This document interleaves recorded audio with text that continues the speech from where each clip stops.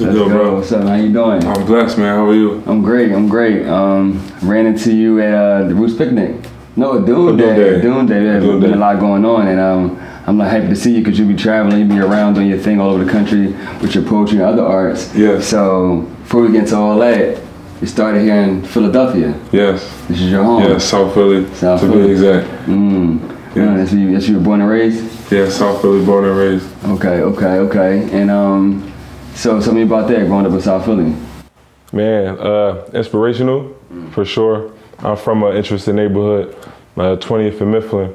So the next little block over, Sigel Street, and um, I, I just remember Mac. I just, I seen Mac from uh, before to the end. Well, not the end. I mean until today. Um, so it was crazy, you know. And then like soon as Mac took off, you go one block the other way, 20th and McKean, Emily Street, Mercy Street. They had Meek there. So that must have been a hot pocket. I don't know what was in the water, that 20th Street water from Sigel to from Sigel to Snyder, you feel me? But I think I think that was the first that was the first piece of motivation because I didn't have to I didn't have to go far to see somebody like find what they love, stay good at it, and then make it out in a sense. Okay, okay. So since so that's how they made it out with the, with the art, and then your art came to you. How did you meet poetry? Oh man, uh, uh, to keep it 100, I started off as a rapper. Um, I went to Bok, shout out to Bok Tech, RIP Bok Tech, uh, 8th and Mifflin. Um, yeah, I started out at Bok, and it was crazy because I transitioned from uh, Catholic school. I went to Catholic school from kindergarten to eighth grade. I did a week at Neumann. Uh, it was all boys then. And, um, uh, you know, my mom was a single mom, so we had that tough decision like, do we have our, you know, do we take Mike and keep him in private school? Because it was to the point where only one of us, me and my little sister, could afford to go to Catholic school or private school, whatever. So I took the L, said, Mom, you know, I done got nine years of education, let my sister finish. Uh, and so she stayed in Catholic school. I dropped out of Neumann, went to Bok, and I started rapping. I started, yeah, I started rapping. I mean, I mean, uh, Showtime. Showtime was my rap name. Um, but uh, I mean, I, I mean, everybody rapped though, you know. So that that lane was like super saturated, and then I wasn't. I, I just started rapping, and um, uh, I kind of fell out of rap. Uh, I got into trouble, kind of like this Will Smith shit. But I didn't go to Bel Air. I went to the military, and then um, I started rapping again in the military because imagine, you know, 300 guys on a ship for six months. You don't you don't even see land. You know, so just being out on the water five, six months, we doing all kinds of shit. I learned how to play spades, learned how to play dominoes, and then I was rapping again. It wasn't until after I got out the military, maybe like 2000, 2008, 2009, I started hanging back around South Philly, and uh, shit, got rapping again. But this time, YouTube had just came out, and you know, you know, niggas old when we talking about YouTube just coming out. But um, YouTube I just came out, and uh, uh, that's when um, shout out to Plumber, shout out to Diddy. They was doing I'm not a rapper, it's a rap. All of those DVDs. If you go back to the first couple volumes of them Jones, you're gonna see me out there. I was out Tasker at the time. Um, a lot of 27th Street, a lot of Tasker projects, and uh, it wasn't until uh, they used to bring the cameras out Tasker to the projects, and it's like 30 niggas, all 30 of us rapping, and by the time it's time for me to rap, I just fold it. I'm like, man, uh, to keep it 100, it was like, like I, I used to be around the dudes that I watch the DVDs and start lining niggas up. Oh, this is where you be at. Oh, this is what you got on. Oh, that's you see the nigga in the back, he getting it. We gonna spin up there, you know. So the first thing that came to my mind is like that street mindset. It's like, man, I'm not about to get up here on this camera, lie about all these bricks, and when somebody come knocking on my mom's door looking for me, expecting all of this, and I ain't got it, it's gonna turn, it's gonna turn sour. So right, so you know, I, I kind of chilled off the rap thing, but I always, always like to write, and it wasn't until I went through like some heartbreak that um, that actually got me into into writing because I had all these feelings, and the shorty I had the feelings for, me and her wasn't really vibing, so I couldn't express them to her, so they was all bottled up, and writing became my therapy, and then the rest is just history. So you went from you went to start writing about it, and then to reciting. How was it when you started reciting? Because writing is one thing to be, you know, writing your thoughts and your emotions, but then to have the courage to stand in front of people and say it publicly, that's a whole nother. You know, like um, you know, everything. Uh, yeah, divine intervention. I call it. I feel like I feel like God because I'm connected to Him. Like He orders my steps, and there's no mistakes in like any part of my journey. Like everything had to happen the way it's supposed to happen. So um, uh, back before me and Shorty broke up, um, our cable was cut off. So we was crazy into the DVDs, you know, mm-hmm. like uh, sidetrack. You know, I, I, was with a girl. We were both college students, broke as fuck, um, scratching and surviving. Our parents didn't want us to be with each other. Little Romeo Juliet vibes, right? And uh, so we was basically on our own. So I'm sitting here, I'm trying to, you know, provide for me and the chick. And you know, shit gotta get cut. First thing that getting cut was the cable. So long story short, um, DVDs were still popping, and there was this one website that was giving out free DVDs or cheap DVDs like used joints, and we ordered the whole Def Poetry joint, right? Classic. Right, classic. I got, I still got them, all of the DVDs from all of the Def Poetry. And then when I started sticking them in, I'm like, oh, this is fire. And it kind of resonated with me because it was like rap, but it wasn't. That was the first time I was probably, you know, uh, I witnessed poetry. I mean, because before I'm thinking Langston Hughes and fucking uh, shit, Maya Angelou. And I'm like, that don't relate to me. But when I, I got in that Def Poetry, I'm like, wow. I'm like, this is fire. So next thing I did is like, yo, I want to see this live. I want it. I wonder if this place is in Philly. And then um, I ended up at the Harvest. Me and Shorty, same Shorty I wasn't, that ended up going through that crazy stuff with. But if it wasn't for us being broke, I wouldn't have ordered the DVDs. Then uh, searching out the DVDs wouldn't have led me to the Harvest and the Harvest is that is that platform. They used to do it at World, Ca- uh, World Cafe Live. Um, this is like circa 2008, 2009. Um, I went in there with her, and we thought that shit was the dopest shit ever. It was like shout out to everybody that was responsible for the Harvest. That was a great platform for Philly, and um, I mean that was another essential part of my journey. So you fast forward, all right. Uh, I transitioned from rap into poetry by way of the girl, by way of the the DVDs by way of the harvest. Next thing you know, like I said, I was going through something. I had all of these words. I'm like, well, where am I going to take them? First place I took them was the internet. You know, um, I got on Instagram probably first week it came out. No, no cap. It was only for Insta. It was only for um, for iPhone users at the time. And I actually turned in my Evo to get me an iPhone to get on Instagram, right? um, circa circa maybe 2010ish, 2011ish, right? Crazy. So um, for me, I was cool with just posting my feelings on the internet, right? Because for me, that was my release, right? But it wasn't until, and this is crazy because um, a lot of the business books I read, it's like, you, you know, understand your market, understand your base, and figure out what your base wants from you. And my base wanted me to write poems and I wrote poems. Then my base wanted me to perform poems. So me performing wasn't really something I wanted to do. It was to serve the people that was serving me, giving me that, oh, yo, this is dope, yo, this is dope, yo, you should write more, yo, you should write more. So I, I felt like I had a voice.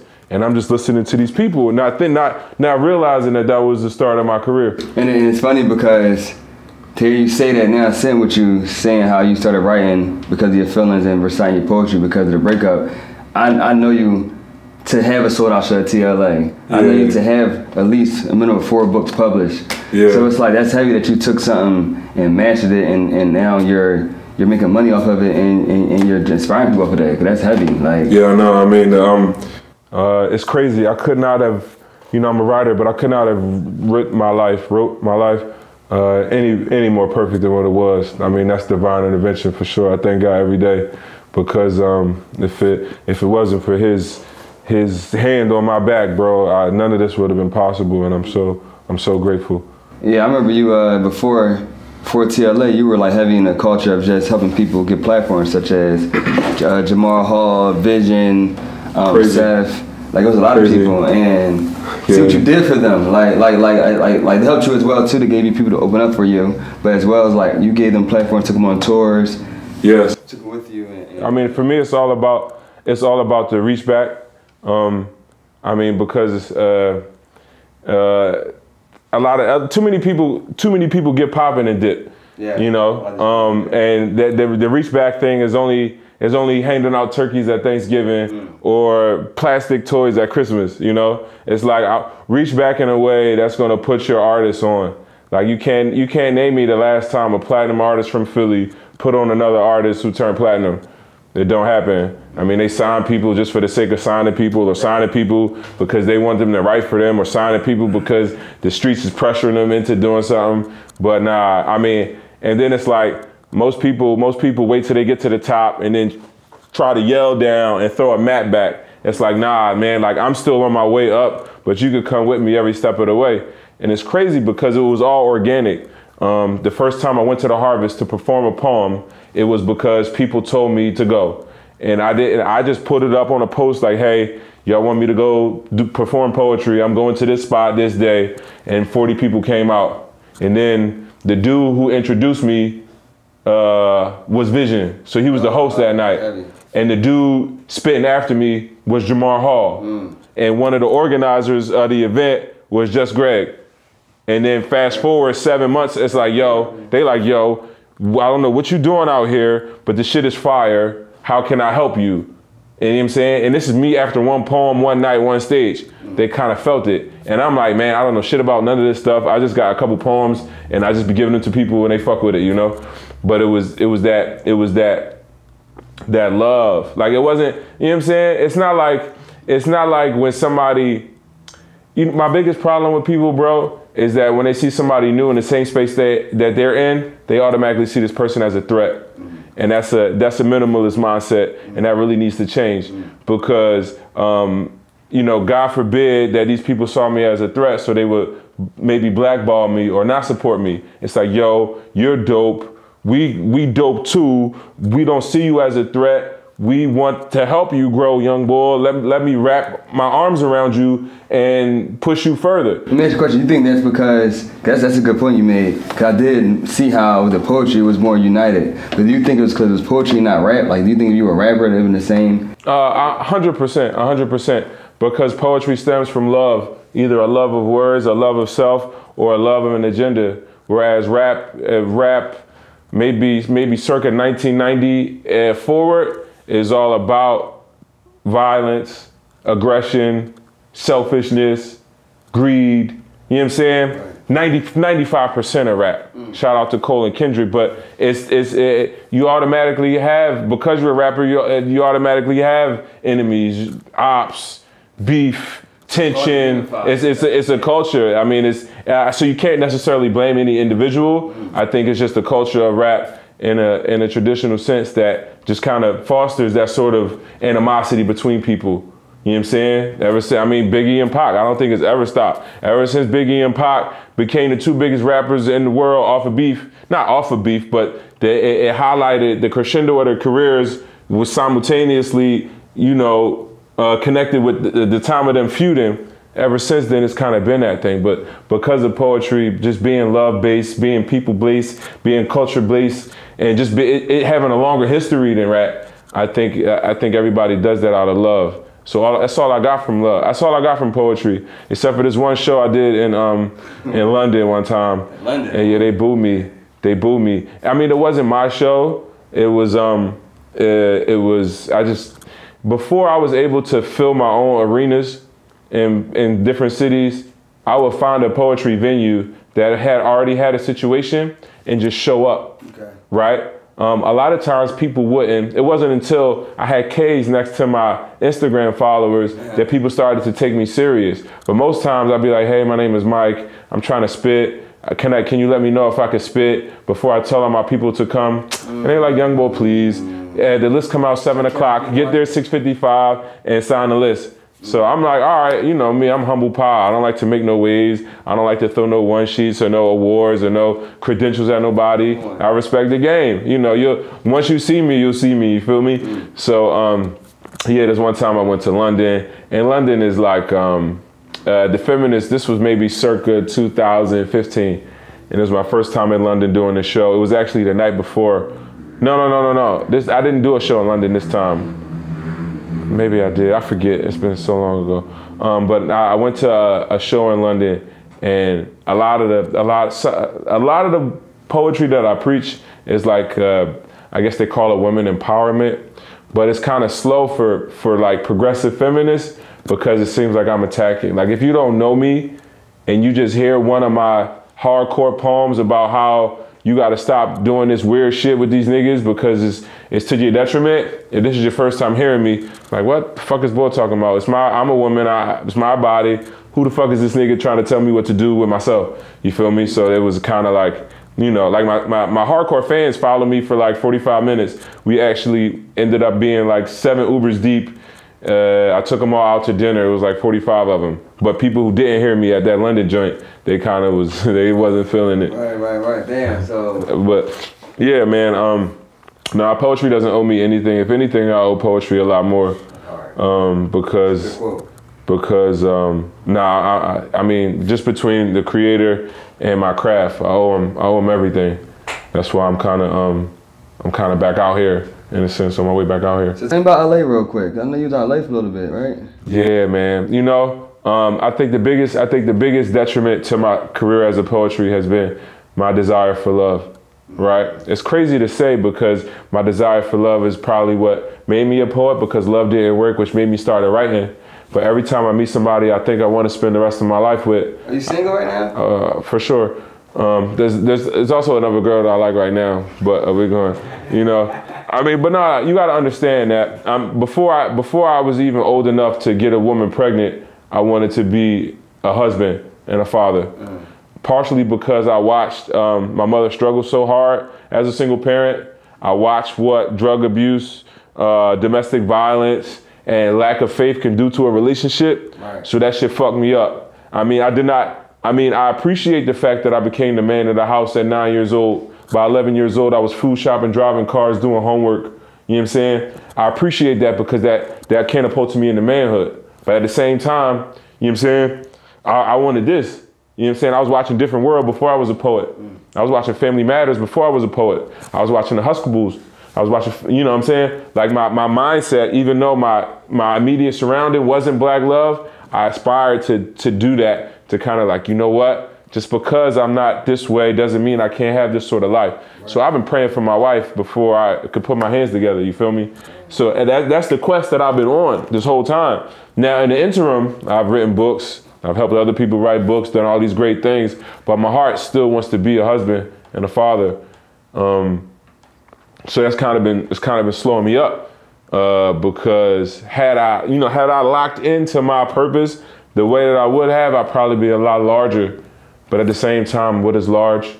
I mean, like you said, it's all divine it's, time. Everything's lined up for you. For sure. And then and then fame is fleeting, and rich is relative. So all of these things that you you really chase uh, are, are not necessary. They're futile. And um, you know, this, the scoreboard guy keep don't got none of this stuff on it. Like how many lives you changed. You, you feel me? Nah, nah, nah. Don't do me like that, bro. Oh, man. Don't do me like that. Easy, man. I need to take a sip of water. Yeah, man. You got that good pen. Um, so no, we in the summertime. We're in we're in the middle of June, so I know you got some good things coming up. You got summer tour, I see. Um. Tell us what's going on. Oh yeah, back to LA actually. So yeah, uh, I went to LA in the middle of the pandemic because um, I thought I was gonna fall in love, and I'll do anything for love, bro. I'll do anything for love. I packed up my shit. I packed up my shit in three days and moved to Long Beach on the strip of somebody I thought I was gonna spend the rest of my life with. It didn't work. It didn't work, but um, ain't nothing like waking up on Christmas. I flew my mom off for Christmas. We on the beach. It's 82 degrees. You know what I'm saying? So it just taught me that um, my body ain't built for this cold weather shit. so this this winter I'm out of here, man, because I don't believe my body belongs in below 40 degree temperatures. But right now, I'm gonna keep it 100. Right now, like I'm torn, man. Like um, I'm at this interesting position where uh, financially I don't need poetry, so I really got to be in it for the passion. Mm. And right now I don't have the passion. Mm. And then another thing you do, I'm suffering from escapism in the sense that I try to do all these other things to stop me from my purpose, right? And uh, I'm, I'm heavy into real estate, right? Um, big deterrent. I mean, yes, I've uh, I, have increased my wealth. I've uh, given black families um, great accommodations in gentrified neighborhoods for below market rates. and I'm proud of that while still making a profit. So just because the rent in your neighborhood is 1750, you don't gotta make it 1750 because you you if you gotta if you do it right, you know what I'm saying? You can make money, but not make all the money you can make. But at the same time, that extra three hundred dollars that you're charging, you taking two two uh, Chuck E. Cheese visits and and and ten toys out of out of uh, a single mom's pocket because you want to tax the rent, mm. or you making her move out in a crazy neighborhood where the rent's cheap. You know what I'm saying? But the danger's high. But but the danger's high. So um, I mean, uh, I've done everything from started a publishing company. Um, uh, I'm a government contractor. Um, I'm a real estate uh, developer and property manager and landlord, and I'm doing all of these things, and they're all financially lucrative and, but they don't give me the, the fulfillment spiritually like poetry does. But I'm so deep in this shit now that it's a fight. I almost got to fight every day to carve out time for poetry, which is where my discipline is coming. And I'm so sad because, um, you know what I'm saying? How do you kick people out of a club that's popping? Metaphorically speaking, like how do I how do I be like, yo, I don't want no parts of this business, or hey, I gotta shut this business down, or hey, you know what? Let me find somebody to manage the property. You know what? I don't even want to buy no more cribs. Like I stopped getting emails from Redfin and Zillow and Realtor.com because I don't even want to see another steal on the market because my purpose isn't. I don't think God is pleased with me. I don't think God is pleased with me, so that's, I need to do. I owe him. I owe him. I owe him. Now God is God is so good that um, He gives me this wisdom before it's too late but now the onus is on me. Mm. So uh, I mean, to, to bring that back full circle, right now uh, I'm kind of starting from the ground up with the same knowledge that I had last time. Mm. Um, uh, you still, you Just Mike the poet, but you Just Mike the poet without trying to be it. You already are it. So you just add everything around it. So right, and I'm tapping back into I'm tapping back into my old self. So these tours, like these shows that I'm going on, they're not they're not Mike shows. Uh, what I'm doing is I'm bringing my crowd back to where it started other people's venues, right? Because we're stronger together. So instead of me getting a venue and doing it, I want to bring my 150 people into your into your situation because that way they get fed even after I'm gone. So instead of me being this super capitalist, like you know what? Let me call Marriott, get my own get my own conference room, uh, charge these people just to see me. I could do a show right, and right. it could last an hour and a half. Why not say, you know what, bro? Just give me 500 to come to your joint. I pay my own travel. I put my own stuff in my hotel because I don't really need the paper. I just I just want to bring 150 people that never knew probably about your event down in Austin, Texas. But I got fans in Austin, Texas. Let me not let me not be so greedy and to put all the money in my pocket. Let me send them to your venue. That way, when I leave Austin, they can still get filled after I'm gone. I love that. Right. So uh, every show that I'm doing this summer is in another black-owned um, poetry venue that's run by another black creative. And I just want to pour into the people that keep poetry alive because I'm not one of them. a dollar as well. Oh yeah, for sure, for sure. I, I 100% believe in circulating the back dollar, a thousand percent. I will eat. I will eat the same food from two stores all week long because they're the only two black stores that I know in my area. You feel me? And it might be it might be small, but if everybody did that, it's like, damn, do I want fish again? Hell yeah. I'm gonna have fish and grits, I'm gonna have a fish hoagie, I'm gonna have fish on fish on fish, because that's all my black people make. And I don't care. I don't care if I gotta drive past two fish spots to get to this black fish spot, you feel me? But that's what it is. Yeah, we definitely appreciate you keep, you know, supporting the black community and keep everything inside, because that's what we need to do. I could do better. I could do better. I will do better. But uh, just being just being conscious of it is the first step. Um, that's important. How you feel about ACAF? Um, man, talk about diamond in the rough, bro. Talk about I, I just thank God for seeing you because seeing you brought me here, and um, I like everything here from the body butters to the incense to the teas. I think I'm gonna grab some tea on the way out. I mean, but it's just, I mean, this is just another thing that I don't gotta get from Amazon when I want some ashwagandha. You feel me? You know what I'm saying? if I if I need some black soap, my first thing to do is uh, Amazon black soap and hope the person I buy from uh, get that little black owned badge. But now I could just spend to the deuce. You know what I'm saying? We here, we here. So before just, Just Mike get out of here, I want to know about this Mellow Fest I keep seeing all over. You know, um, Mellow Fest is interesting because uh, I'm ninety-five percent of the time on my shows, I think I'm the headliner. 95, 99.9. I don't think. I think uh, one time I did a, spa- a stage play in Atlanta, and there were a couple of um, you know like real actors on it, and I wasn't like the draw, but usually I'm like the draw. So the, the cool thing about Mellow Fest is one is Juneteenth. One, uh, two is 800 people. Three, it's just got um, so many different legends on it. Myself, Black Ice, uh, Georgia Me, Talib Kweli, um, uh, a bunch of bunch of bunch of fire poets. K Love.